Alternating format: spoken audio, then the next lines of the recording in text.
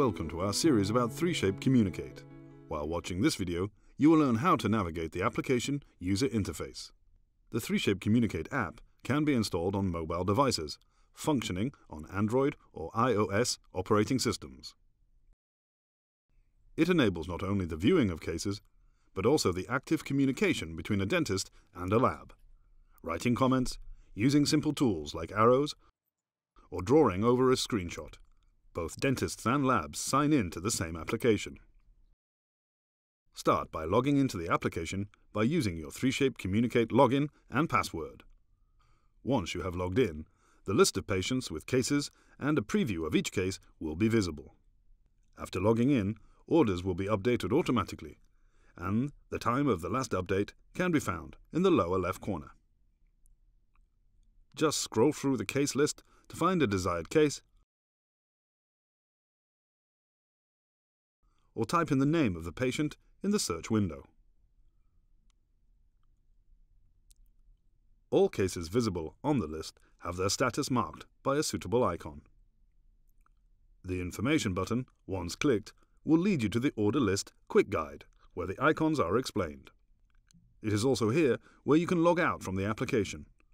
You can also click the Download Orders button to decide which time period you wish to download cases from. When set, just click Back to move back to the guide, and then to Orders.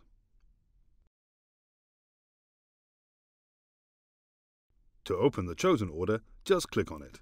The tab with orders will open, 2D pictures with scans, and 3D previews of teeth.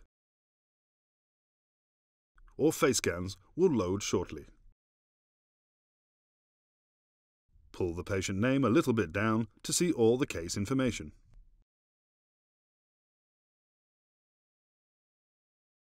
It is also here where you can continue previous conversations or start a new conversation by writing a comment. Now you can freely change between 3D and 2D. To be able to fully utilize the communication possibilities given by the application, switch to 2D to see the scans, shade measurement, attached annotations and comments, and also HD photos sent with the scans. Click on each attachment to see it in full screen mode. Use the 3D view to observe scans from different angles and different detail levels. Click on a scan to use the full screen mode and extra functions added to the application. While in 3D view, use one finger to rotate a scan in 3D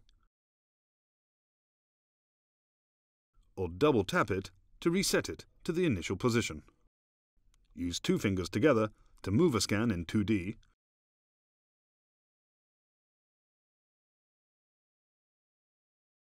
or move two fingers in opposite directions to rotate it. Spread the fingers on the screen to zoom in the scan.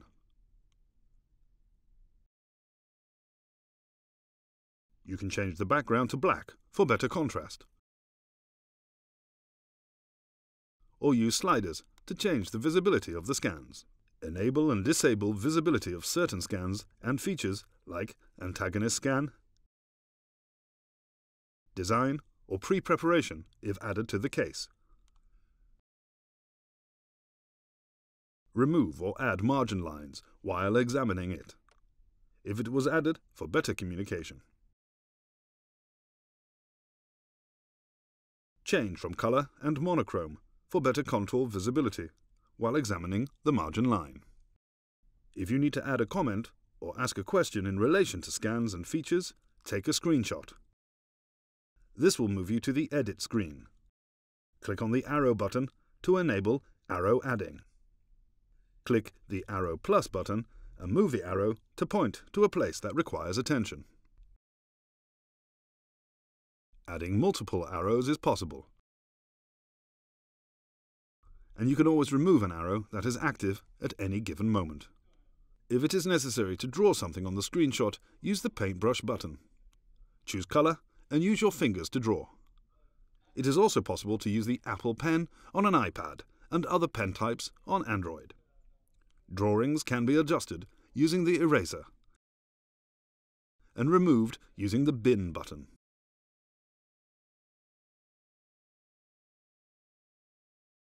Now, when your drawings and callouts are added, click the Thumbs Up button to save it and get the possibility to add a text comment and send it for consideration. When you press Send, the screenshot will be added to the order and visible in the communication thread. Extra comments can also be added if necessary.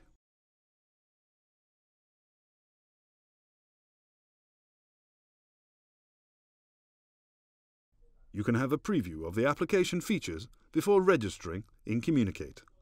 Just download the application and sign in with the Showcase login. No password is required. Thank you for watching.